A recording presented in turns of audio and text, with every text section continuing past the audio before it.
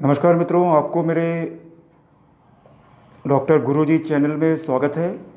मित्रों, आज एक बहुत ही महत्वपूर्ण विषय में चर्चा लेकर आपके सामने आया हूँ। हाँ मित्रों, हम बृहस्पति की महादशा के फल के बारे में चर्चा करेंगे। मित्रों, मैं बता दूँ, देवगुरु बृहस्पति ब्रह्मांड का एक बहुत ही महत्वपूर्ण देवता है, जिसके ऊपर देवगुरु बृहस्पति की कृपा हो जाती है। उसे और मुड़कर देखना नहीं पड़ता है। और जिसके ऊपर देवगुरु बृहस्पति कृपा नहीं रहती, वो जीवन में कई संकटों से गुजरता है, कई गलतियाँ करता है और कभी लाभ की स्थिति को प्राप्त नहीं कर पाता। ना सांसारिक जगत में और ना ही आध्यात्मिक जगत में। मित्रों, ये मैं आपको बता दूँ, यदि कुंडली में बृहस्पति कारक हो, उच्च राशि, मूल त्रिकोण राशि स्वराशि या मित्र राशि में स्थित हो, शुभ ग्रह से युक्त अथवा दृष्ट हो तथा केंद्र अथवा त्रिकोण में स्थित हो तो अपनी दशा में जातक को बहुत शुभ फल प्रदान करता है। यदि मित्रों बृहस्पति नीच राशि का होकर उच्च नवांश में हो तो जातक राज्य कृपा प्राप्त करता है। प्रमोशन होती है, गुरु कृपा से विद्या प्राप्त करता है, देव आराधना में चित्त रमता है तथा जातक धन, कीर्ति और वैभव प्राप्त कर लेता है। मित्रों, मैं बता दूँ, बृहस्पति की शुभ दशा में जातक चुनाव में विजयी होकर ग्राम सभा का प्रधान, पालिका प्रधान, विधानसभा का सदस्य तक बन जाता है। केंद्रीय मंत्री, मंत्रिमंडल की कृपा पाकर धन धान्य में वृद्धि कर लेता है, तथा यशोभागी होता है।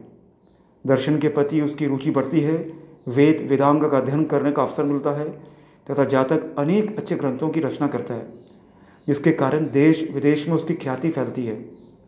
मित्रों, अनेक वरिष्ठ अधिकारियों से उसके संपर्क बढ़ते हैं, विदेश यात्रा के योग बनते हैं, तथा राज्याधिकार प्राप्त करने के अवसर भी मिलते हैं। जातक का बौद्धिक विकास होकर उसमें न्याय करने की क्षमता आती है, तथा जातक ऐसे कार्य करता है जिससे देश और समाज का कल्याण हो। वह धार्मिक कार्यों में विशेष रुचि लेता है, तथा प्याऊ व धार्मिक स्थानों का निर्माण में धन व्यय करता है। कथा कीर्तन में बढ़ चढ़कर भाग लेता है। ब्राह्मण, गौ, गुरु और साधुओं का आदर सत्कार का सदैव तत्पर रहता है। मित्रों, में बता दूँ, बृहस्पति की शुभ दशा में जातक के घर में अनेक मंगल कार्य होते हैं। देह में निरोगता व मन में प्रसन्नता बनी रहती है। पुत्र होने से मन में हर्ष होता है। घर में सुख शांति बनी रहती है। पत्नी का विशेष अनुग्रह प्राप्त होता है। शत्रु परास्त होते हैं। वाद विवाद में उसे विजय मिलती है। परीक्षार्थी इन दिनों में सफल होते हैं। प्रतियोगिता परीक्षा में सफलता मिलती है तथा उच्च पद की प्राप्ति होती है। मित्रों, जातक की मंत्रा, मंत्रणा शक्ति का विकास होता है तथा उसकी सभी अभिलाषाएँ पूर्ण हो जाती है। जातक इस दशा काल में राज्य की ओर से उच्च सम्मान व पुरस्कार भी प्राप्त करता है। यदि बृहस्पति उच्च राशि का है, लेकिन नवांश में नीच का हो गया हो तो जातक घोर कष्ट भोगता है। उसका चेहरा चेहरा काला पड़ जाता है, स्त्री से वियोग होता है संतान के कारण अपयश मिलता है। यदि बृहस्पति अकारक हो, नीच राशि, शत्रु राशि, अस्त, वक्री एवं पाप मध्यस्थ में होकर बुरे भावों में स्थित हो तथा पापी ग्रह से युक्त हो, अनेक अशुभ लाभ अशुभ लाभ ही जीवन में देखने को मिलता है। यदि बृहस्पति राहु संबंध करता हो तो जातक को सांप काट लेता है। विषपान से देह पीड़ा भोगनी पड़ती है।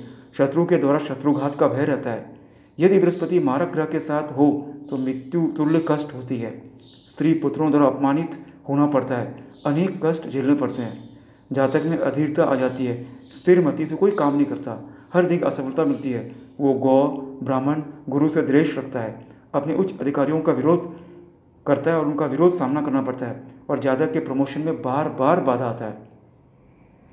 मित्रों, मैं बता दूँ कि यदि बृहस्पति शुभ नहीं है तो आपके जीवन में ना तो प्रमोशन होगा, ना उन्नति होगी। जहाँ भी जाएँगे, आगे नहीं बढ़ पाएँगे। इसलिए बृहस्पति का शुभ होना जन्म कुंडली में एक बहुत बड़ा प्लस पॉइंट है। अगर शुभ नहीं है तो उसको शुभ करने के लिए क्या क्या उपाय हैं? आने वाले टॉक्स में मैं इस उपाय के बारे में बताऊँगा। मेरे चैनल को सब्सक्राइब करिए, देखते रहिएगा। धन्यवाद दोस्तों, फिर मिलेंगे। Thank you.